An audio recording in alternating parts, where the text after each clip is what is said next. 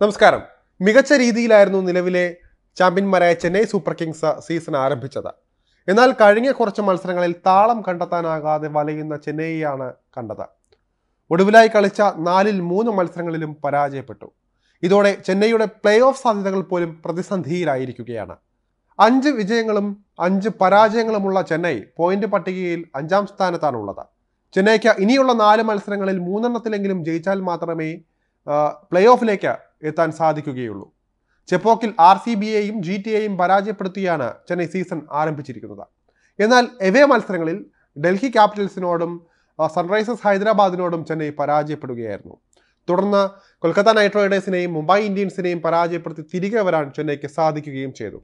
എന്നാൽ പിന്നാലെ ലക്നൌവിനോട് രണ്ട് വട്ടവും പരാജയപ്പെട്ട ചെന്നൈ ഒടുവിൽ പഞ്ചാബിന് മുന്നിലും അടിയറവ് പറയുകയായിരുന്നു. നിലവിൽ പതിനാറ് പോയിന്റുകളുമായി പ്ലേ ഓഫ് ഉറപ്പിച്ചിരിക്കുകയാണ് രാജസ്ഥാൻ. ഇതോടെ ഒഴിവുള്ളത് ബാക്കിയുള്ള മൂന്ന് സ്ഥാനങ്ങളാണ്. രണ്ടാമതുള്ള കെ കെ ആറിന് അഞ്ച് മത്സരങ്ങളിൽ നിന്നും രണ്ട് വിജയം മാത്രം കണ്ടെത്തിയാൽ മതി പ്ലേ ഓഫ് യോഗ്യത നേടാൻ. മൂന്നും നാലും സ്ഥാനങ്ങളിലുള്ളത് ലക്നൌവും സൺറൈസേഴ്സ് ഹൈദരാബാദുമാണ്. പന്ത്രണ്ട് പോയിന്റുള്ള ഇരു ടീമുകൾക്കും ബാക്കിയുള്ള നാല് മത്സരങ്ങളിൽ നിന്നും രണ്ട് വിജയം കണ്ടെത്തിയാൽ മാത്രം മതിയാകും. പോയിന്റ് ടേബിളിൽ നാലാം സ്ഥാനക്കാർ ആരാകും എന്നറിയാനുള്ള ആകാംക്ഷയിലാണ് ഇപ്പോൾ ആരാധകർ. ചെന്നൈ ഹൈദരാബാദ് ലക്നൗ ടീമുകൾക്കുള്ളിൽ ഇതിനായുള്ള മത്സരം അതിശക്തമായി തുടരുകയാണ്. ഹൈദരാബാദ് ലക്നൌവിനെ പരാജയപ്പെടുത്തിയാൽ പിന്നീടുള്ള മത്സരം ലക്നൌവും ചെന്നൈയും തമ്മിലാകും. സൺറൈസേഴ്സ് ഹൈദരാബാദിനെ സംബന്ധിച്ച് ലക്നൌവിനോട് പരാജയപ്പെട്ടാലും ബാക്കിയുള്ള ഹോം മത്സരങ്ങളിൽ വിജയിക്കാനുള്ള സാധ്യതകൾ കൂടുതലാണ്. അത് അവരെ മൂന്നാം സ്ഥാനക്കാരാക്കിയേക്കും. എന്നാൽ സൺറൈസേഴ്സ് ഹൈദരാബാദിനെ നേരിടുന്നതിന് മുൻപ് ലക്നൗ കെ കെ ആറിനെ അതായത് കൊൽക്കത്ത നൈറ്റ് റൈഡേഴ്സിനെ പരാജയപ്പെടുത്തിയാൽ സമവാക്യമെല്ലാം മാറുകയും ചെയ്യും. ചെന്നൈക്ക മുന്നിലുള്ള പ്രതിസന്ധികളിൽ ഒന്ന് സ്വന്തം തട്ടകത്തിൽ ഇനി ആകെ ബാക്കിയുള്ളത് ഒരു മത്സരം മാത്രം എന്നതാണ്. അത് മിന്നും ഫോമിലുള്ള രാജസ്ഥാനെതിരെയാണ്. പിന്നീട് പഞ്ചാബ് ഗുജറാത്ത് അതുപോലെ തന്നെ ബാംഗ്ലൂർ എന്നീ ടീമുകളെ എവേ മാച്ചുകളിലാണ് ചെന്നൈക്ക് നേരിടാനായി ഉള്ളത്.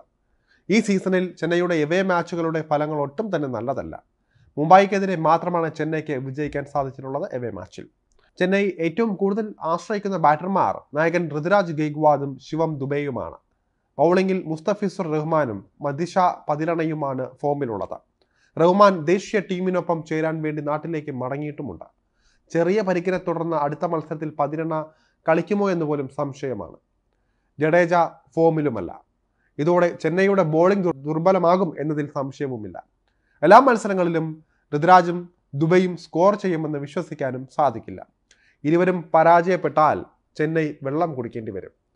ചെന്നൈയെ സംബന്ധിച്ച് പ്ലേ ഓഫ് സാധ്യതകൾ നിലനിൽക്കുന്നുണ്ട് ഇപ്പോഴും. എന്നാൽ മത്സര ഷെഡ്യൂളും മറ്റ് ടീമുകളുടെ ഫോമും തങ്ങളുടെ താരങ്ങളുടെ മോശം ഫോമും എല്ലാം അവരുടെ മുന്നോട്ടുള്ള യാത്രയെ ആശങ്കയിലാക്കുന്ന കാര്യങ്ങളാണ്. മുന്നിലുള്ള മത്സരങ്ങളിൽ പരമാവധി വിജയം സ്വന്തമാക്കുക മാത്രമാണ് ഇപ്പോൾ ചെന്നൈക്ക് മുന്നിലെ ആകെയുള്ള ലക്ഷ്യം. എല്ലാത്തിനും ഉപരി ഒരു പോസിറ്റിവിറ്റി ഉള്ളതാ മുൻ നായകൻ മുൻ ചെന്നൈ നായകനും ഇന്ത്യൻ നായകനുമായ മഹേന്ദ്ര സിംഗ് ധോണിയുടെ സാന്നിധ്യമാണ്.